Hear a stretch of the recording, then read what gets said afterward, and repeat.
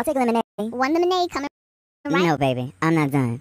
I want two cubes of sugar and stir it twice after each cube. Use a long spoon, not a tablespoon. I can tell the difference, so don't try me. Water should be at 55.7 degrees, and I'll take a splash of mint with lemon wedge on the side. Thank you. That will be one dollar and fifty cents.